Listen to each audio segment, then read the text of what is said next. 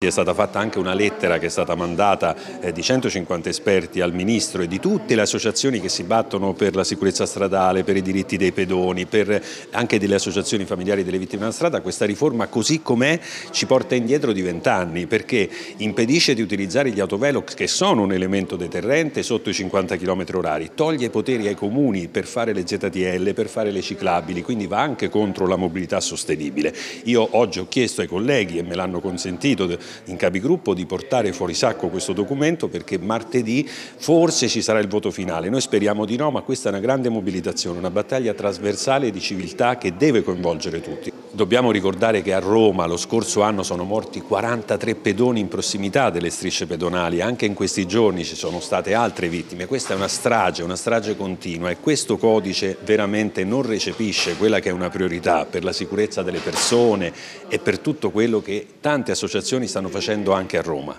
Io ringrazio tutti i colleghi che l'hanno anche sottoscritto questo documento, li ringrazio perché comunque diamo un segnale forte, adesso impegniamo il nostro Presidente a rivolgersi al Sindaco e far valere davvero queste istanze importanti attraverso l'ANCI e tutti i tavoli possibili anche nel Parlamento sicuramente.